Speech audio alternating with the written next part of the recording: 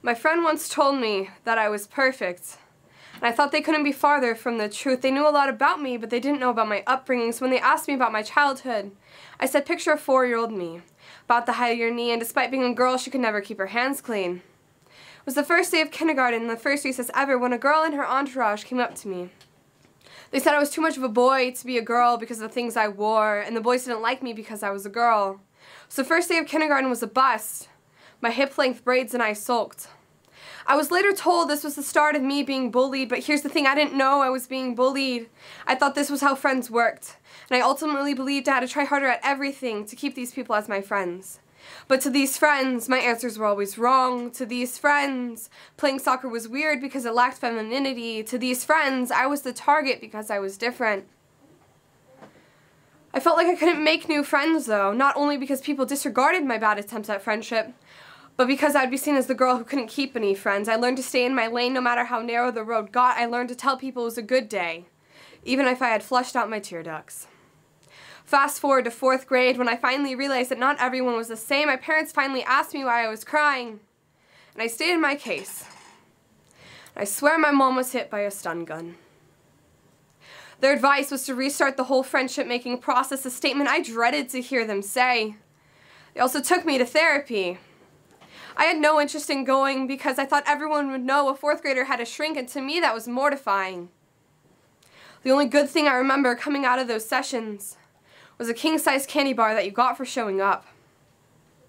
Fast forward two more years in sixth grade and I finally had my first good year. I didn't make any friends but I didn't lose any either. So it was a plus in my book. My teacher asked me to be the class photographer and I finally felt like I had the power. It was probably the best part of elementary school. The next year is the first year of middle school and I make my first close best friend. Our hearts beat to the same music. We had inside jokes and funny stories that really weren't that funny. And we would complain to each other about homework because it limited our freedom. The next year the world crashed down.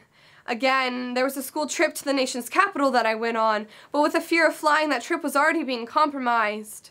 The safety of the areas we're in were also questioned, making for more uneasy students, and a fire alarm of a person going off in front of you does not exactly help the situation.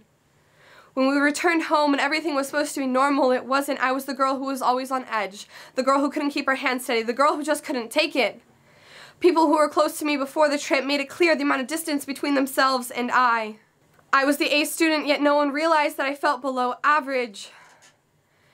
Four therapists later, I had finally finished the eighth grade. The takeaway from them was that there were better people in the world, and eventually I would find them. I didn't believe the therapist, but eventually I found that they were right.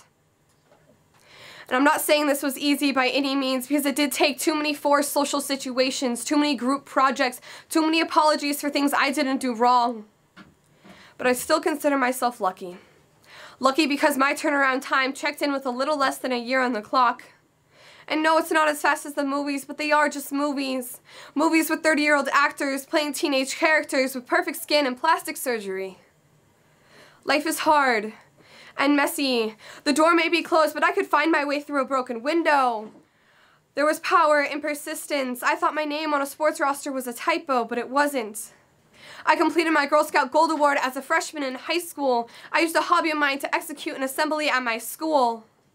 Eventually, I had realized that anyone who has made it has also dealt with a substantial amount of failure. But on an island of failure, you are not isolated. The turning point for me was joining my high school's ASB, a leadership program with a couple of classes full of a bunch of people who are just as crazy as I am. But we all found contentment in each other's existence. When you're stuck on a cycle of misery, quitting seems quite easy.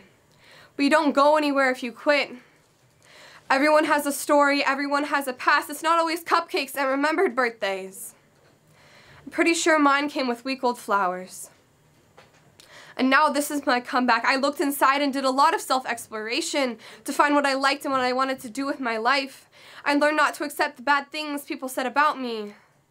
I remembered that I remembered that rejection emails were only speed bumps, not roadblocks. Not everyone is going to stick around forever. They're going to come and go as they please, and if doing what you love was easy, then it would not be worth it.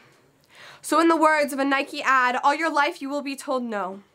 All your life, they will tell you you are the wrong height or the wrong body weight. They will tell you you're not talented enough or good enough to play this or be this or to achieve this. They will tell you no. A thousand times no until all the no's become meaningless. All your life, you will be told no. So you will tell them yes. So, yes. Thank you.